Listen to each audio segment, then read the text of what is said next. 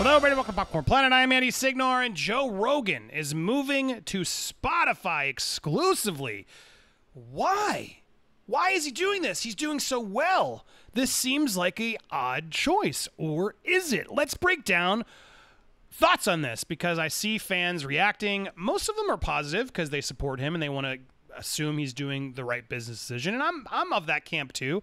I imagine he's doing this because he's crunched the numbers and realized, well, damn, this must be a good deal. And I mean, the first answer just to get right to why I think is the obvious one. It has to be money. They had to have ponied up a ton of money to make him turn off his YouTube channel because you got to remember, if you're going to turn off a YouTube channel, that's not good for a channel. Now, granted, it's still his audience and him. If he decides to come back, I'm sure it could regrow. But you never want a channel to just die for a year or two or three uh, and just not have anything on it and become dormant. And then do they have to shut it off? Uh, he could easily rebuild it. I think his, his audience would, would stay and, and come back. Uh, but right alone, that there is just like, damn. Uh, but let's break down his announcement, what he did, and, and I want to share some thoughts. I also want to talk about what's Joe worth? What is the podcast worth? Could it be more than what he's doing with Spotify? I mean, obviously it, ha- it can't be. Why would he make that deal? But let's try and guess what do you think that Spotify deal was worth based off of what I can tell you approximately he makes off the show. And I can tell you that because I've done some pretty big YouTube channels. I know how YouTube revenue works. I've sold sponsorships, uh, big channels. I, I can I can guess closely and also compare to sort of things online to give us an approximate of where we think he's at in his net worth. Uh, but let's first get to uh, this statement. So we made the statement. Announcement. The podcast is moving to spotify starting september 1st the podcast will be moving on spotify as well as uh, as well as all platforms but then at the end of the year, it will be moved exclusively to Spotify, including the video version. It will remain free and it will be the exact same show. It's just a licensing deal, so Spotify won't have any creative control over the show. They want me to just uh, continue doing it the way I'm doing it right now. We will still have clips up on YouTube, but full versions of the show will only be on Spotify after the end of the year. I'm excited to have the support of the largest audio platform in the world, and I hope you folks are there when we make the switch. All right, so there's a few things that I want to break down here because the first thing I notice is uh, the video version. I don't watch videos on Spotify. I don't know if you guys do, but that's not what I go to Spotify for. Not to say that uh, they couldn't turn me over, but I like not only watching uh, on YouTube, but I like the comments. I like reading the comments of the people engaging with the audience. It sort of gives you a nice distraction while you're, you know, do two things at once while you're watching the show. Spotify doesn't have that. A, that's that's a one red flag I have that I'm not I'm I'm I'm not looking forward to. Uh, but beyond that, I, don't know how to watch. I, I use Spotify on my phone. I, I, know there is a desktop app, uh, but can you stream it? Do they have an app on like Apple TV or Chromecast, uh, PlayStation? curious to see if that will then work uh, elsewhere if you want to sit and actually watch one of his long interviews because they're long. It's hard to sometimes watch three hours of Alex Jones on your phone. Um, but what? How are they going to handle? That's that's that's the first thing I said. Secondly, they they mentioned how this is a licensing deal, right? Uh, it's just a license deal. They won't have any creative control over the show, is what they say.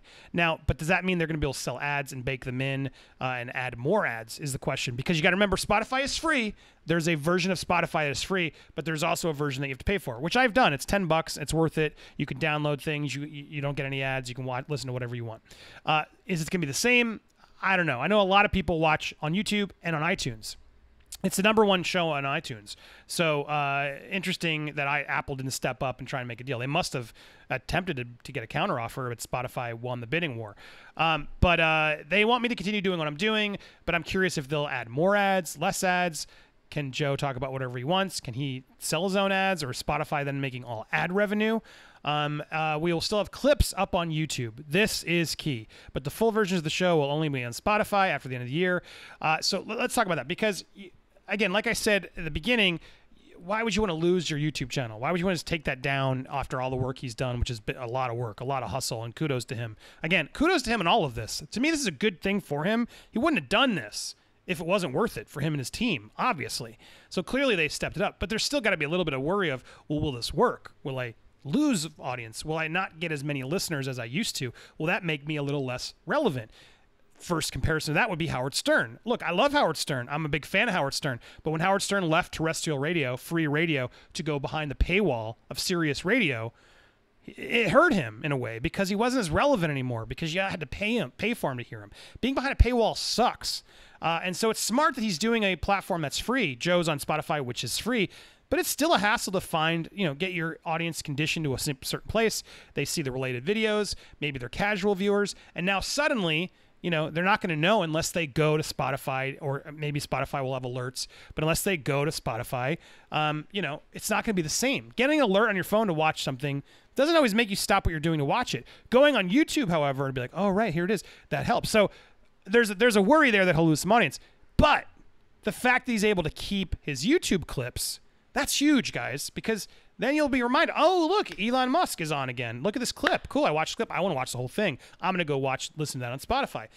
It's a smart move for Spotify to let him have it, and it's a huge cash cow for Joe to add to whatever the amount he's getting paid for this monster deal. Uh, and I want to break that down because the fact that his, uh, you'd think, oh, well, Joe's going to lose a lot of revenue by getting rid of his uh, YouTube, the show on YouTube.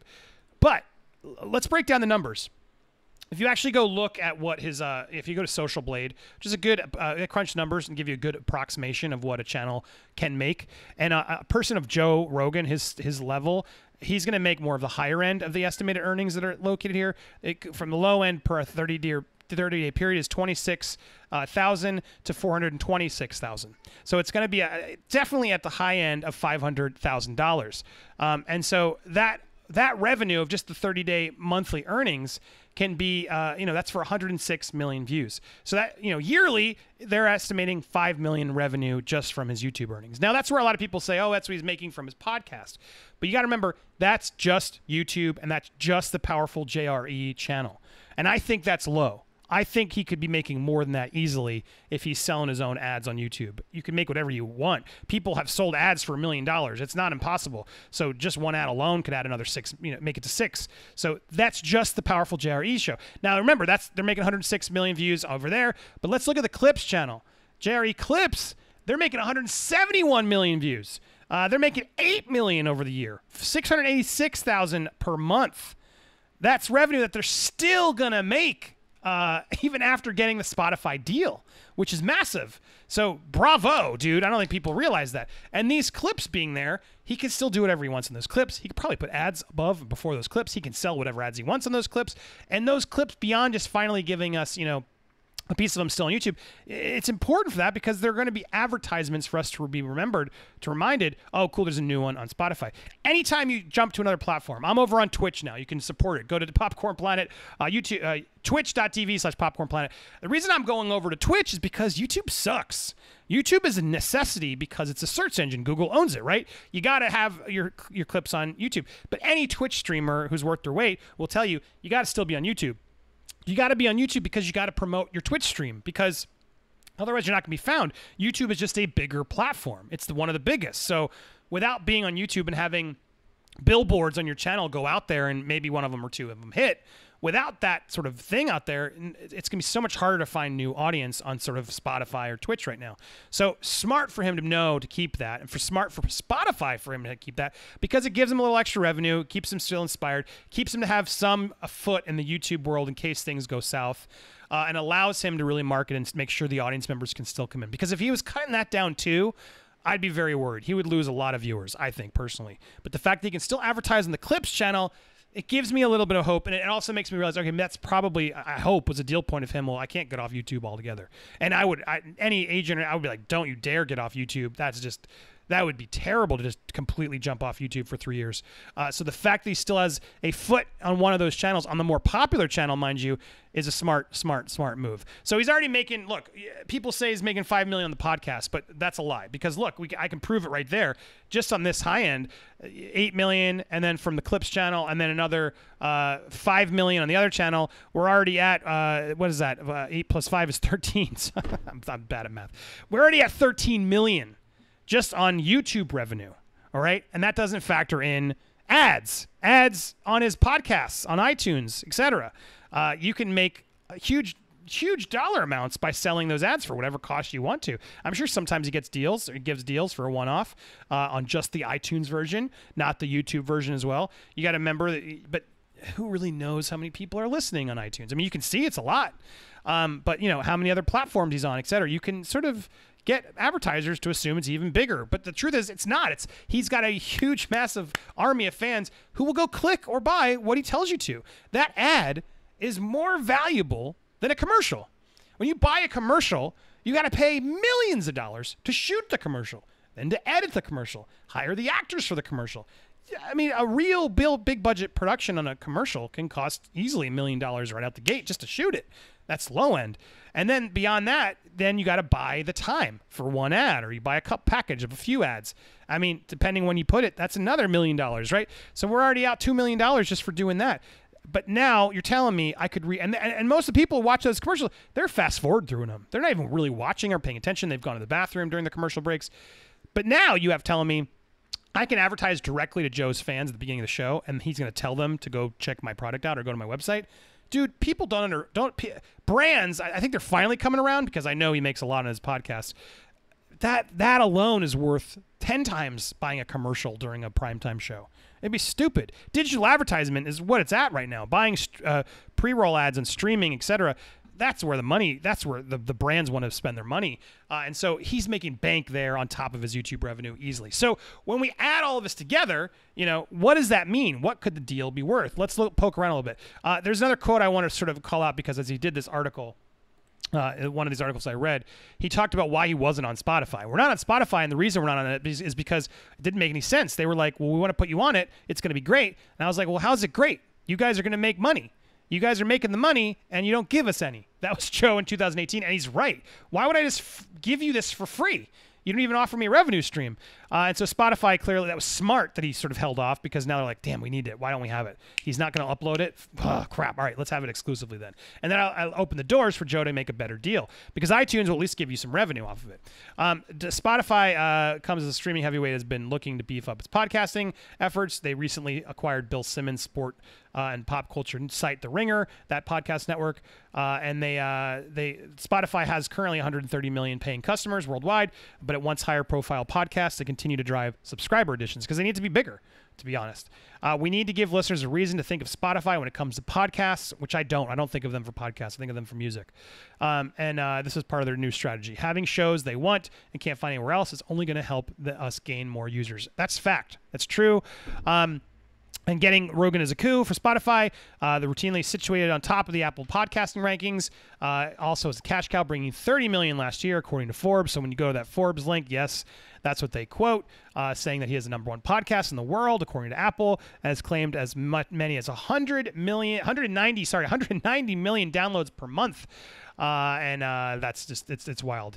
He delivers scale and engagement. Senior Vice President as research, he's number one in terms of the reach of U.S. So guys, to buy an ad on the number one reach in the U.S. with that 190 million downloads per month, pff, that's money. That is money.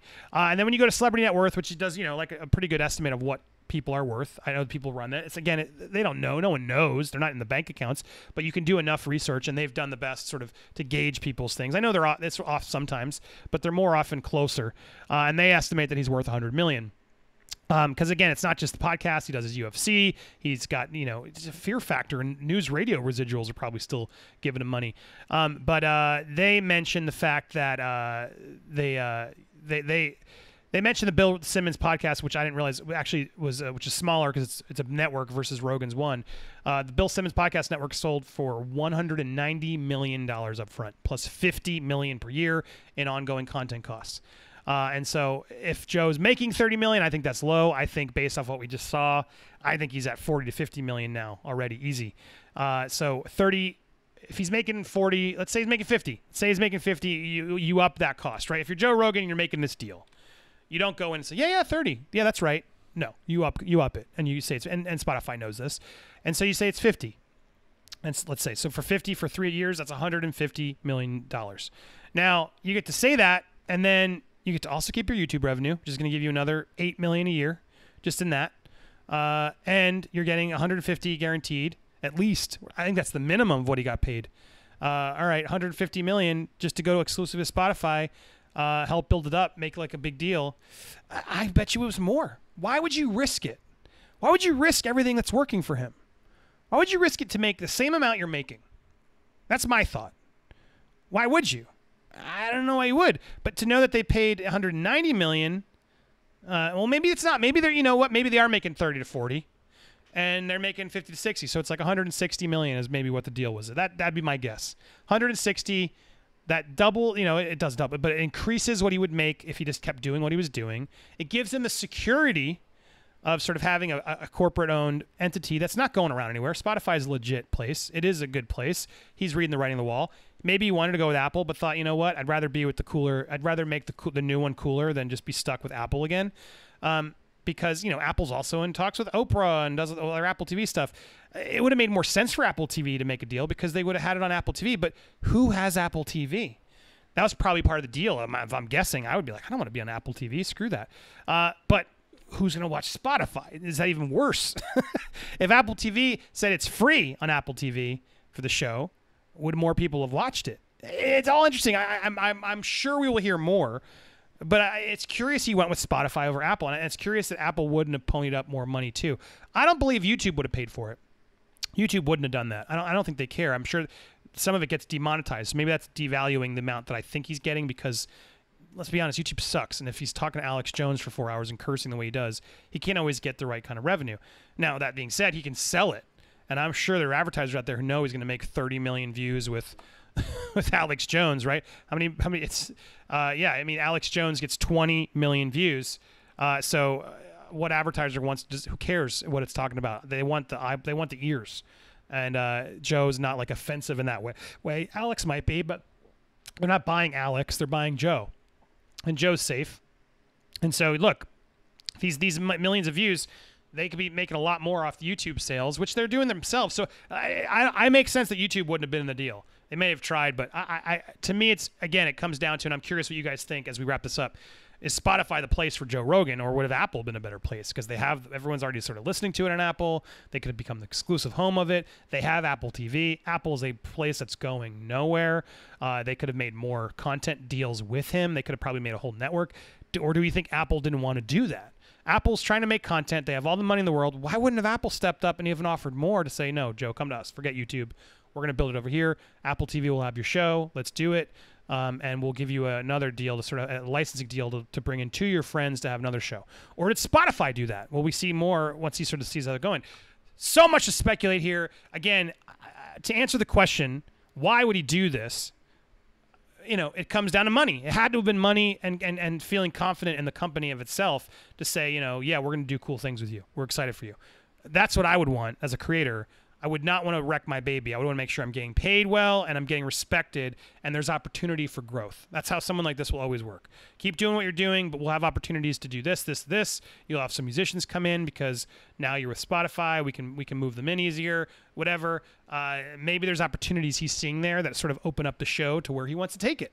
Um, it still seems odd though that Apple wasn't up up for for bid, and I'm curious if we'll hear that. What do you guys think? Tell me down below in the comments. Hit me up on social media. Uh, also, if you uh, like the Joe Rogan show and you like what I'm doing here, uh, please go subscribe over to Hugging the Cactus, my channel, which was supposed to be up while I'm talking. Here it is. Uh, you guys can go over there and subscribe. Uh, it's a channel. It means a lot to me. We do uh, interviews of people who deserve second chances. People have been canceled. People got a bum rap, and the media won't cover. lots of fantastic conversations that you guys can go learn of. So please uh, go over. I'm unsubscribing to show you how to subscribe. Subscribe, hit the bell uh, to all and uh, join the conversation over in the Hugging Cactus. And while you're at it, go subscribe here to this channel. Uh, you can follow me on social media. Uh, we'll be live tonight. It's Tuesday, Tuesdays and Thursdays. I'm here live 9 p.m. Eastern Standard Time uh, for Nerd Wars and Change Your Mind. So come hang out with us. So much uh, fun in store for you guys. So thanks so much for watching. I'll be back with more content very soon. tell me what you think about this story down below, and then click some of this stuff. Bye, everybody.